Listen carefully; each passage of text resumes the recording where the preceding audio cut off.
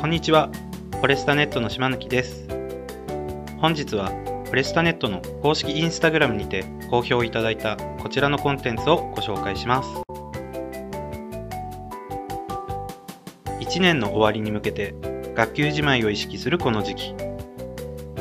投稿者の先生はカウントダウンカレンダーを卒業に向けた意識づくりとして活用されました。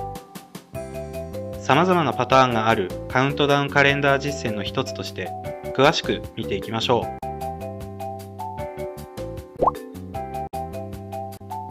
まずはこのようなカウントダウン用紙を人数分準備します。用紙のデータはフォレスタネットにてダウンロード可能です。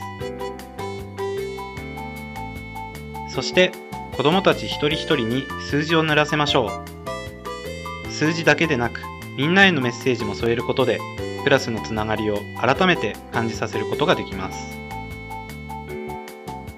また子ども自身が決める今日の挑戦欄は自分たちで決めた目標に合わせて行動しようとする意識づくりにもつながります。ラストスパートに向けてクラスの色が出る楽しい取り組みになりそうです。卒業を控える6年生だけではなく他の学年でも学級じまいの活動としてまさにこの時期から始めることができます。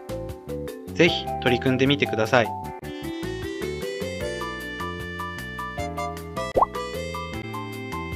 いかがだったでしょうか？今回ご紹介したコンテンツの URL は概要欄に掲載しておりますのでそちらもぜひご覧ください。チャンネル登録と高評価もよろしくお願いします。